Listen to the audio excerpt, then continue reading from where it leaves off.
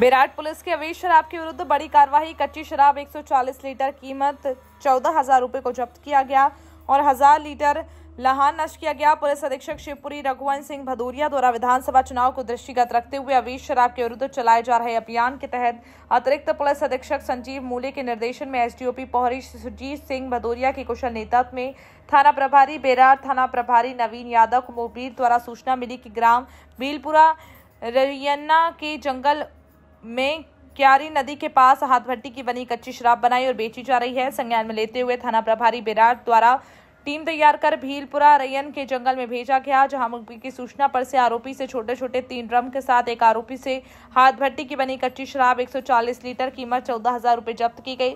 बाद जंगल में हज़ार रुपए लीटर लाहन को नष्ट किया गया। आरोपी के खिलाफ अपराध क्रमांक तीन सौ छप्पन बटे तेईस धारा चौतीस दो आबकारी एक्ट का पंजीबद्ध किया गया।